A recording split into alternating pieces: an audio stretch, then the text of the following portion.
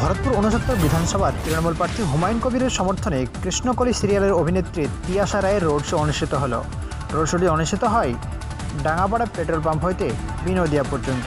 এদিন বিশাল কর্মী সমর্থকদের সাথে নিয়ে প্রার্থী হুমায়ুন কবির রোড শো করলেন। উপস্থিত ছিলেন প্রার্থী হুমায়ুন কবির, অভিনেত্রী তিয়াশা রায়, নজরুল ইসলাম টারজান, আবুল হাসনাত সহ আরও অন্যান্য কর্মী সমর্থকগণ।